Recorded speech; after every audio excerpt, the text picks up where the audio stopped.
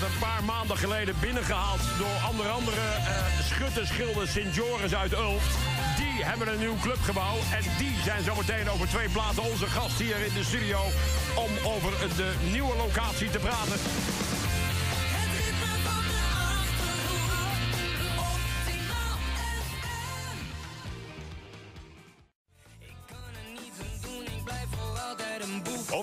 Met Gers Pardoel en Doe maar liever dan lief. Al 67 jaar oud is Schutterschilde Sint-Joris Ulft. Een oude vereniging, maar ze huisvesten sinds kort wel in een gloednieuw pand.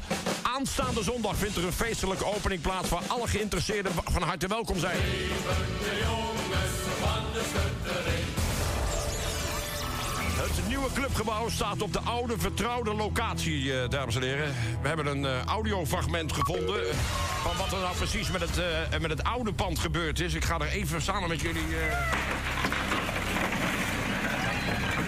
Bij mij in de studio Jurgen Wij. Jurgen, goedemorgen. Hey, goedemorgen. Van harte welkom hier in de studio van Optimaal FM. hoe is de verbouwing verlopen? Uh, ja, prima. We zijn uh, iets meer dan een jaartje bezig geweest. Uh, en het ging eigenlijk wel voorspoedig. Met, met heel veel hulp van alle vrijwilligers ja, hebben we het tempo goed, goed erin kunnen houden. Ja. Trouw, broederschap en dienstbaarheid hoog in het vaandel. Ja, ja. Dat al, is, al 67 jaar. hoe belangrijk is dit nieuwe gebouw voor het Schudderschilde? enorm. Ik denk dat het een hele belangrijke stap is voor de ja, continuering en de toekomst van de vereniging. Het oude pand het was, ja, het begon echt op zijn tandvlees te lopen. En uh, ja, het was of uh, grondig renoveren of nieuwbouw. En uiteindelijk bleek dat nieuwbouw een stuk aantrekkelijker was. En ja, met de verschillende afdelingen die wij hebben... kunnen we in dit nieuwe gebouw ja, allemaal beter een plekje geven... en ook ja, beter onze activiteiten ontplooien. Ja. En ja, dat, dat, is heel belangrijk voor de vereniging. Ruim 1600 leden. Verwacht je veel belangstelling aankomende zondag?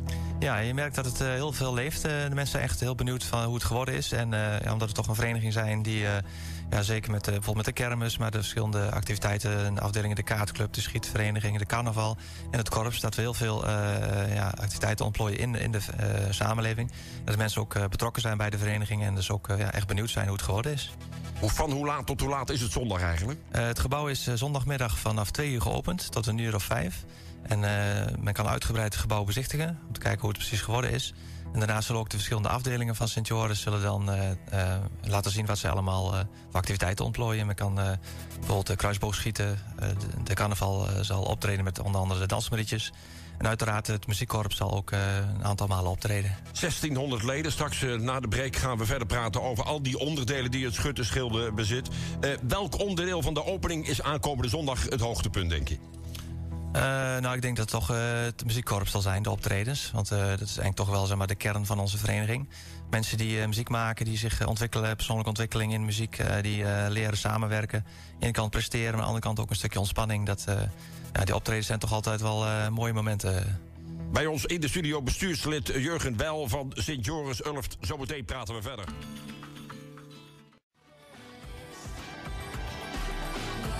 Altijd leuk, bloemen in de haard.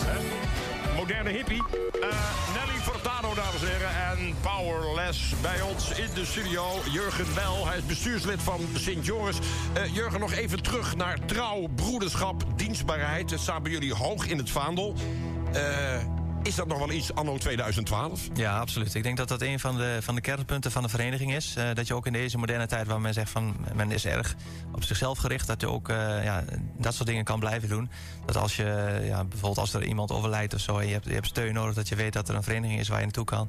Mensen zijn die je ondersteunen. Als je hulp nodig hebt, dat, dat mensen bij je komen. Dat je gewoon met z'n allen probeert om, om ja, uh, ook te ondersteunen. In, niet alleen in de materiële zaken, maar ook in ja, dingen die er omheen zitten. Dus ja, ja, dat speelt zeker nog moderne musketiers onder elkaar. één voor alle, alle voor één. Ja, dat, is, uh, ja, dat, dat, sluit denk ik daar wel, wel op aan, ja. Even terug naar het pand. Aankomend weekend wordt het geopend. Waarin verschilt het oude van het nieuwe pand, afgezien dan van de leeftijd? Ja, het is uh, een stuk groter. We hebben nu veel meer ruimte om de verschillende afdelingen van Sint Joris een plekje te geven. Maar daarnaast is het veel moderner ook qua isolatie bijvoorbeeld. Dat we de verwarming waarschijnlijk een stukje lager kunnen zetten. En uiteraard dat we ook de geluidsisolatie top in orde hebben. Dat ook uh, ja, de, de geluid die het muziekkorps maakt niet over de hele buurt hoeven te verspreiden. En dat ook verschillende secties van het, van het korps ook naast elkaar kunnen, kunnen oefenen. Bijvoorbeeld de tamboers in de ene ruimte, in de andere ruimte de, bijvoorbeeld de fluiters. Ja, de fluiters? Leg uit, wat zijn de fluiters?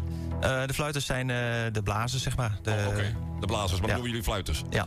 Goed, voor de rest is de Sint-Joris Kaartclub, de Sint-Joris Carnaval... de Sint-Joris Schutters, de Sint-Joris Het Korps. Het zijn nogal wat onderdelen. Ja, ja dat geeft ook wel aan dat, uh, dat de Schuttersgilde behoorlijk breed onderlegd is... en ook breed in de maatschappij aanwezig is. Dat wij voor allerlei leeftijden activiteiten ontplooien. En uh, ja, het geeft ook een beetje aan dat we ook die grote, grote aantallen leden hebben. En ik denk dat dat ook wel een beetje een van de punten is... waardoor we veel mensen trekken naar de vereniging... en een, een bijzondere aantrekkingskracht heeft. Ja, maar zijn dat voornamelijk ouderen of jongeren of beiden? Beide eigenlijk. Uh, men ziet, ziet, bijvoorbeeld de kaartvereniging is uh, algemeen wat, wat ouder. Maar bijvoorbeeld bij de carnaval en bij het korps... is ook zeker de jeugd een heel belangrijk component. Ja, goed. De meeste mensen in Nederland zelfs kennen Sint-Joris als de drakendoder. Ja even terug, 67 jaar in de tijd. Het heeft niks met een draak te maken, het ontstaan van jullie schutterschilden. Nee, het is uh, eigenlijk uh, vlak na de, na de oorlog uh, opgericht tijdens de bevrijdingsfeesten. Mensen waren uiteraard heel erg blij dat de oorlog was afgelopen. En nou, tijdens die feesten is ook initiatief genomen om een buurtvereniging op te richten. Een gedeelte van Ulf, buurtschap De Pol. En daar is toen een schutterij ontstaan, dat heette toen Pol Vooruit. En die naam is later veranderd in de Schutterschilde Sint-Joris. Ja, dat waren eigenlijk uh, uh, burgerdiensten eigenlijk die, die, uh, die de beveiliging alles in de gaten hielden, begreep ik? Ja, er gaan, gaan verhalen dat ze met de Schutterschilden van vroeger, met name in de middeleeuwen, ook ja, als, als doel hadden om een stad of een dorp te verdedigen tegen ja, de kwaadheden van buiten. Dus dat is ook vaak dat ze die ja, die ridders, die heilige figuren eraan uh, aan verbinden. Goed, even naar komend weekend toe. Even alle feiten op een rij. Wanneer gebeurt er wat? Uh, aanstaande zaterdagmiddag is de officiële opening. Uh, dat is voor de genodigden en voor de leden van Sint Joris. Dat is zeg maar het lintje knippen, waarbij alle ja, personen er zijn die een rol hebben gespeeld in de bouw. En aanstaande zondag is de officiële open dag. Dan is het clubgebouw geopend van 2 uur s middags tot 5 uur s middags. Waarbij iedereen welkom is om het gebouw te komen bezichtigen. En Sint Joris uh, een verschillende afdelingen zal uh, laten zien en presenteren aan de mensen. Je zegt dat uh, het, het, het, pand wordt geopend, waarschijnlijk wordt er een lintje. Wordt er niet iets neergeknald? Jullie zijn toch een schuttersvereniging? Als je iets opent, moet je er iets neerknallen eigenlijk? Ja, we hebben wel een leuke, leuke verrassing. Ik weet niet helemaal zeker of ik het mag zeggen, maar... Moet je niet zeggen. Zal ik niet zeggen? Nee, niet zeggen, maar de opening heeft een beetje met schieten te maken misschien wel. Nou, onder andere. Uh, iedereen draagt zijn steentje bij, zeg maar. Ja, of dat is een kleine hint. Of zijn kogeltje. hey, wat gaat de vereniging eraan doen om nog eens 67 jaar te bestaan tot besluit? Nou, uh, uiteraard uh, met ons nieuwe pand een belangrijke stap gezet. Maar uiteraard ook met de mensen. proberen om gewoon in de kant tradities te bewaren. Maar ook proberen om mee te gaan met de tijd. elkaar, voor elkaar te zijn. En ja, vooral ook veel plezier maken met muziek. Ik denk dat die menselijke kant in deze crisistijd zal overwinnen. Hartelijk dank voor je komst naar de studio. Een geweldig feest gewenst voor jou en je hele vereniging. Dankjewel voor je komst naar de studio. Dankjewel.